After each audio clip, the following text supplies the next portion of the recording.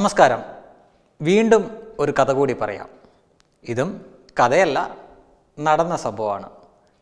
കേരളത്തിലോ ഇന്ത്യയിലോ നടന്നൊന്നുമല്ല. അങ്ങ് റഷ്യയിൽ. റഷ്യ എന്ന് പറഞ്ഞു കഴിഞ്ഞാൽ U S S R United States of Soviet Russia ആ സോവിയറ്റ് റഷ്യ ആയിരുന്ന കാലത്ത് അവിടെ നടന്ന ഒരു യഥാർത്ഥ സംഭവമാണ്.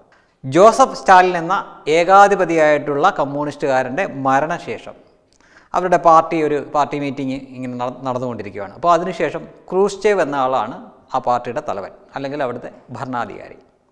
അപ്പോൾ അദ്ദേഹം ഈ പാർട്ടി അംഗങ്ങളെയൊക്കെ ഇങ്ങനെ അഭിസംബോധന ചെയ്ത് പ്രസംഗിച്ചുകൊണ്ടിരുന്നപ്പം അദ്ദേഹം പറഞ്ഞു ജോസഫ് സ്റ്റാലിൻ എന്ന വ്യക്തി ഒരു ക്രൂരനായിരുന്നു.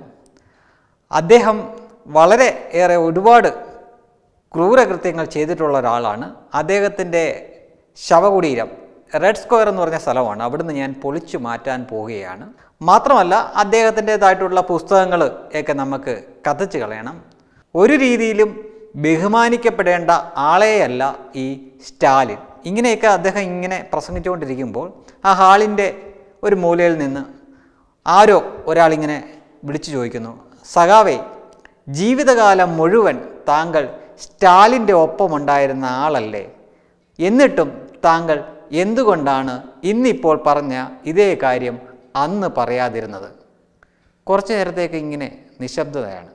ഈ ഉൾപാർട്ടി ജനാധിപത്യം എന്നൊക്കെ ഇവർ പറയുമെങ്കിലും ഇങ്ങനെയുള്ള ചില ചോദ്യങ്ങളൊക്കെ ചോദിച്ചു കഴിഞ്ഞു കഴിഞ്ഞാൽ സ്വാഭാവികമായിട്ടും ആ ഹാളിൽ ഒരു നിശബ്ദത കളിയാടും. അതാണ് ഈ പാർട്ടിയുടെ ഒരു സെറ്റപ്പ് അപ്പോൾ ഈ കുറച്ച് നേരത്തെ നിശബ്ദതയ്ക്ക് ശേഷം ഈ ക്രൂസ്റ്റേവ് ചോദിച്ചു സഖാവേ ഈ ചോദിച്ചത് ആരായാലും ദയവായിട്ട് ഒന്ന് എഴുന്നേറ്റ് നിൽക്കാമോ എന്ന് ഒരാളും എഴുന്നേറ്റ് നിന്നില്ല. ആ ചോദ്യം ചോദിച്ച ആൾ പോലും എഴുന്നേറ്റ് നിന്നില്ല. അപ്പോൾ ക്രൂശിയെ പറഞ്ഞു ഇപ്പോൾ നിങ്ങൾക്ക് മനസ്സിലായി കാണുമല്ലോ എന്തുകൊണ്ടാണ് ഞാൻ ഈ ചോദ്യം അന്ന് ചോദിക്കാതിരുന്നതെന്ന്?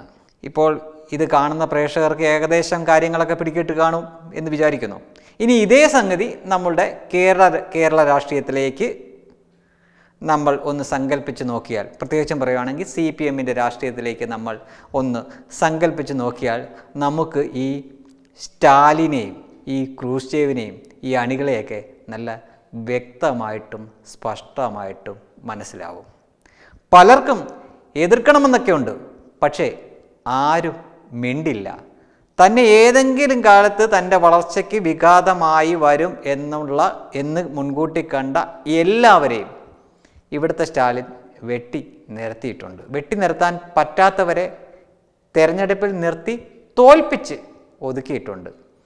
അതിന്റെ എണ്ണങ്ങൾ അങ്ങ് എം എ ബേബി മുതൽ ഇപ്പോഴുള്ള പി ജയരാജൻ വരെ നിൽക്കുന്നു. M A Baby Thomas Isaac G Sudhakaran അതേപോലെ തന്നെ P Jayarajan E P Jayarajan M V Jayarajan ഇപ്പോൾ അവസാനം വരെ വന്ന് നിൽക്കുന്നു. ശൈല ടീച്ചർ. പക്ഷേ ഒരു പ്രശ്നമുണ്ട് ഇപ്പോൾ ഈ സ്റ്റാലിന്റെ അവസ്ഥ തന്നെ ആയിരിക്കാം ഒരുപക്ഷെ.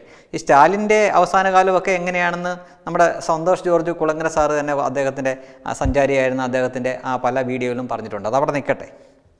ഈ ഏകാധിപത്യ സ്വഭാവത്തോടെ ഇങ്ങനെ പിണറായി വിജയൻ പോകുമ്പോൾ ഇതിനകത്ത് അദ്ദേഹം ഭയക്കേണ്ടതായിട്ടുള്ള ഒരുപാട് കാര്യങ്ങളുണ്ട്.